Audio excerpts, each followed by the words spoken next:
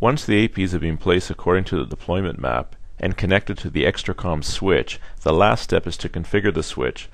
Just to recall, in our use case we are deploying a 2.4 GHz 802.11n channel blanket on radio 1, a 5 GHz 802.11n channel blanket on radio 2, and a 2.4 GHz 802.11 BG channel blanket for legacy users on radio 3.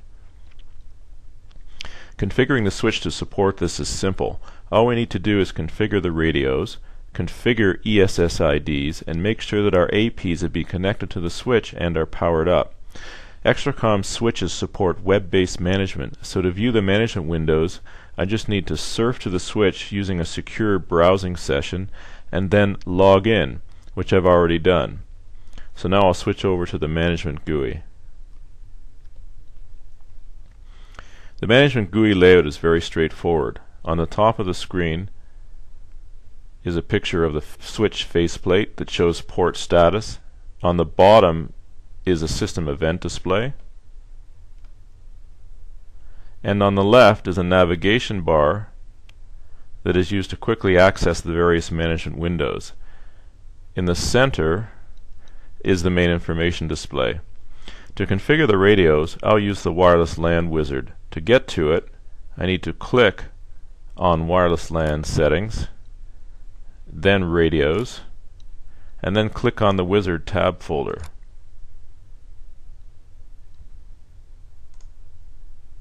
And we'll start from scratch. The first step in the configuration process is to choose the access point type. As you can see, the EXRP30N is the default access point type. That's Extricom's 3 radio access point, and that's actually the one that we need for our deployment example. However, I'll show you in the pull down menu that the other access point types are available. Anyway, we'll leave the 30N as the choice and move forward. The next step is to determine if you want rogue AP detection. We don't need it in our example, so I'll hit next again. The third step is blanket type uh, definition. And as we said earlier we wanted the first channel blanket to be 802.11n running in the 2.4 gigahertz band.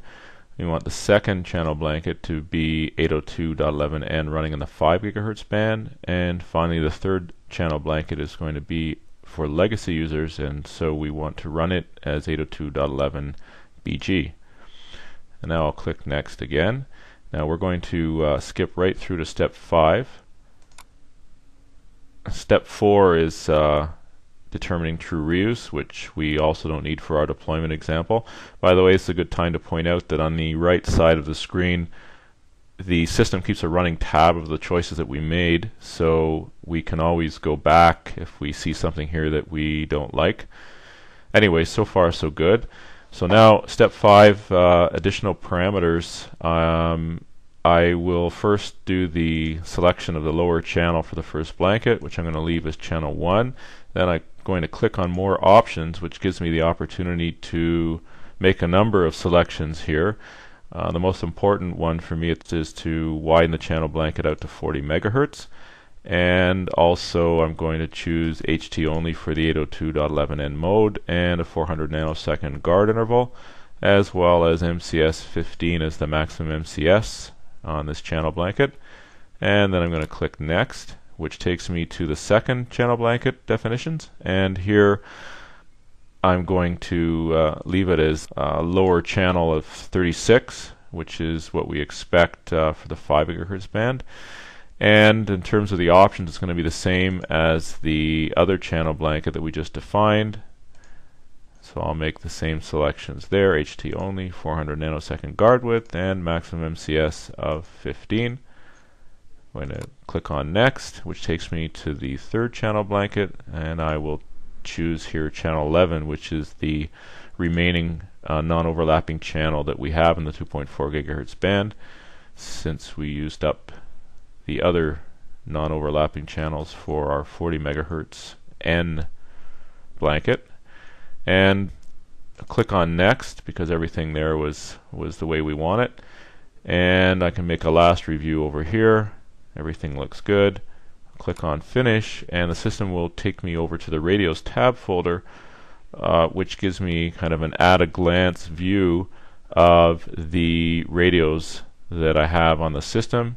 Of course each radio corresponds to a channel blanket and I can see that the selections are exactly what I wanted so the wizard's done its job and we're done as far as uh, configuring the radios. Uh, one more point is that if you want to change anything, you can also change it in this tab folder. There's no need to go back to the wizard. Anyway, I'll move over to ESSID definition. First thing I'll do is add an ESSID for the 802.11n users. Now below in the in this window I have a number of settings that I can modify. The only setting I'm going to change is I'm going to assign a VLAN tag to this ESSID and then um, I have to choose an encryption type. There are a number of options.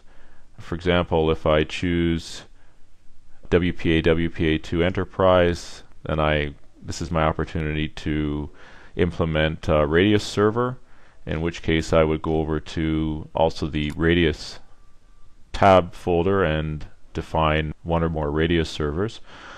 But I'm going to use a somewhat simpler encryption mode which is WPA WPA2 personal. And once I do that then I have the opportunity to enter the pre-shared key and once that's done I can save that. And I'll move ahead and enter one more ESI SID for the legacy users. And again I'm going to just change one uh, option below which is to assign the same VLAN tag to this ESSID I'm going to use the same encryption method but I'm going to put in a different pre-shared key so that I will keep the users for each ESSID from logging in to the other one. And I'll save that. And now we have our ESSIDs defined. Now I go over to ESSID assignments. And this is a very powerful window in which I can assign the ESSIDs to whatever BSSID I want. So in this case, I'm going to ensure that the 802.11n user group has access only to the 802.11n channel blankets, which are riding on radio 1 and radio 2. And the legacy users, I'm going to allow only access to radio 3, which, as I said before, is set up as 802.11 BG. And what's really powerful about this is that i am able to actually create a separation between the 802.11n and 802.11 BG users even within the same band, which is a unique capability of Extricom's channel blanket architecture. So I'll save that. Now I have to go over to the system tools and I will apply the configuration changes.